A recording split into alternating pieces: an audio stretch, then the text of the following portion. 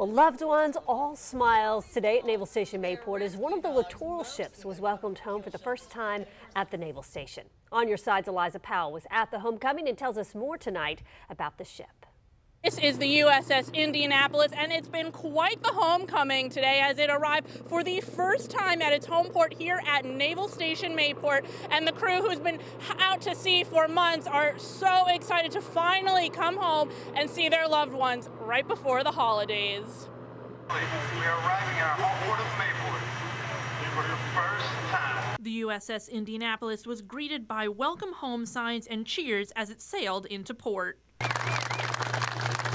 The first kiss officially welcoming home the 70 crew members who have been out to sea for four months. We're super excited to have him for the holiday. The excitement palpable as loved ones anxiously await that first embrace. Just to give her a hug, I miss her a lot. Haven't seen her, so I'm excited. Plus, I'm about to leave on deployment, so I'm excited to see her again. Finally docking for the first time at its home port at Naval Station Mayport. It's a, a fantastic conclusion to uh, four months of hard work and uh, really getting to know the ship.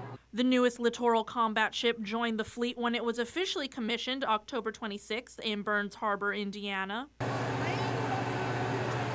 The USS Indianapolis is the seventh LCS at Mayport, and it's equipped to carry out mine warfare. It's the four ship named in honor of the Indiana capital and the Navy's 19th littoral combat ship.